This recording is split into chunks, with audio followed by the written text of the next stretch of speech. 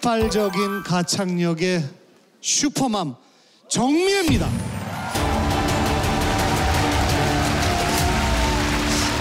이렇게 일어나세요. 정미애 씨! 나 이렇게 일어나죠. 정보 이렇게 일어나죠. 이렇게, 이렇게, 이렇게 일어나죠. 오늘 정미애 무대 걱정할 거 뭐가 있습니까? 걱정 걱정. 드럼에. 자 이제 황 형제가 연승을 이어가고 있는데 네네. 가장 강력한 팀입니다. 그렇습니다. 어, 또 공교롭게 가장 막내와 제일 맏언니가 붙게 됐어요. 맞아요, 맞아요. 아, 지금 요 순서가 약간 엎치락 뒤치락 조금 판도를 변화시킬 있죠. 수도 있고. 어, 아 근데 좀 부담스럽네요. 아 그래요? 왜 왜? 뭐 떨어 떨어져도 부담스럽고요. 이겨도 부담스럽고. 가장 막내 라인이라서. 이기면 좀 미안할 것 같기도 하고. 네. 그러네. 아 이겼는데 민호군이 거기서 오열하면서 울음을 터뜨린다. 아, 정리의 가슴 시나리오입니다. 이어지죠. 정말 충격적이에요. 업어줘야겠다. 어머 이제 우쭈쭈해. 다 안아줘야겠죠. 둘째, 셋째랑 나이가 비슷하죠, 민홍군. 그렇죠, 그렇죠. 몇 11살. 살이죠? 11살. 11살. 어 맞네요. 둘째랑 비슷해요. 둘째랑 비슷하지. 어머. 자, 3년 만에 불의 명곡 경연에 함께하게 되었습니다. 트롯계 디바, 정말 트롯 슈퍼맘 정미애 씨 무대로 출발!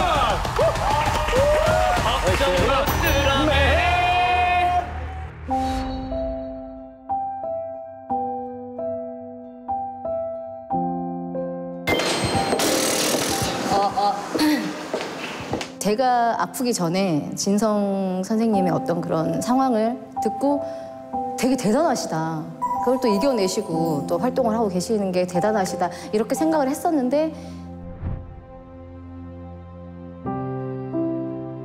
제가 아프고 정말 더 대단하시다. 라는 거를 이제 제가 몸소 체험하게 됐죠. 예, 저도 아프고 어떻게 보면 가수한테는 조금 치명적인 이제 그런 부분을 제가 아프다 보니까 어, 시간이 조금 많이 걸려요. 예전보다 어, 발음 연습도 좀 많이 해야 되고요. 그리고 그 한 구절 한 구절에 신경을 정말 많이 써야 돼요. 예, 그래서 노래를 좀 이렇게 연습을 많이 하다 보면 턱이 많이 아파요. 예, 그치만 뭐 부를 수만 있다면야 저는 네 연습을 해야죠.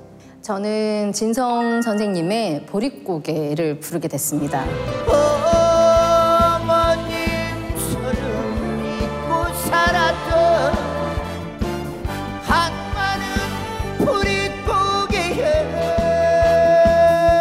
제가 슬픔을 표현할 수 있는 어떤 그런 곡이 아닐까 싶어가지고 이제 저한테는 아주 특별한 곡입니다. 정말 열심히 준비했습니다. 어, 준비한 만큼 진짜 실수 없이 오롯이 그냥 무대를 좀 즐기려고 생각하고 있어요. 응원해 주십시오. 최선을 다하겠습니다. 화이팅!